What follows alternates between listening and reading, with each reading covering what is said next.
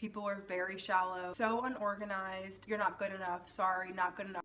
It's Roset here, and today I'm going to be talking about why I left the modeling industry and just why it didn't work for me. This is all based on my own experiences, so I can't speak for everyone. Also, you should like and subscribe if you haven't already. Expect something new every single week. That being said, let's get into the video.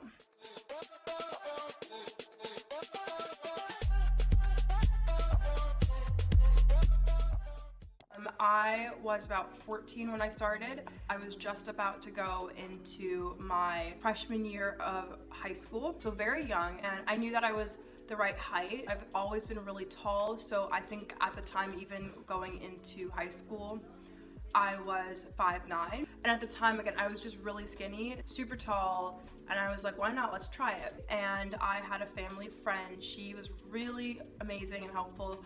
We put together this portfolio.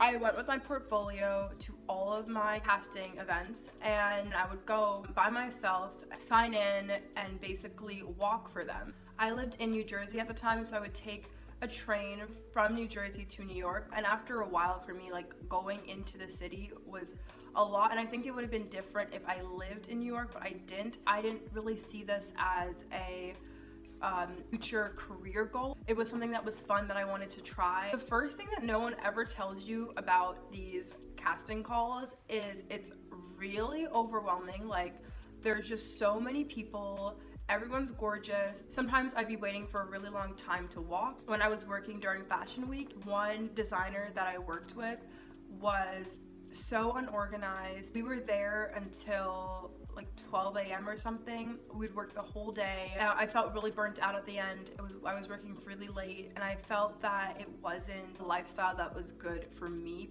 I wasn't getting paid that much and I was working a long time and really late at night. And again, like I'm only like 15 at the time. So the next thing I want to talk about is weight in the industry, people are gonna like your look or not like your look. You're being told things all the time that you should be changing, and that can be really hard to hear. You just never knew what they were looking for. So when I started, I was about like 120 pounds. I thought that I was fine. Like I thought that I was a normal help maybe a little bit underweight, but I was very fine with my appearance, my look. I was 5'9 at the time, so I'm pretty tall and I kind of look like a stick, but I went in and I had people telling me that I was too fat. If you see, I was tiny. Like, I definitely did not think I needed to lose weight at all. And I kept having people tell me that I needed to. It's actually kind of funny because the people who are casting you or looking at you while you're walking, the ones that you're interacting with, they will tell you that you are too fat, that you need to lose weight here, that you're not the right look. But what's interesting is that these are the people who are not like in shape at all, who are not taking care of themselves. It's hard to hear some old person who is not at all keeping up with themselves telling you you're not good enough, sorry, not good enough for our company.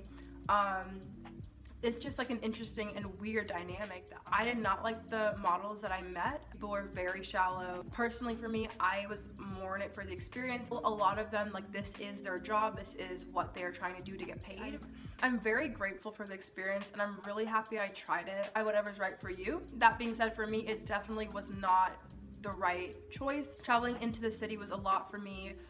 The people I met were not the nicest or friendliest people at all. I didn't want to lose any more weight because I was already really skinny.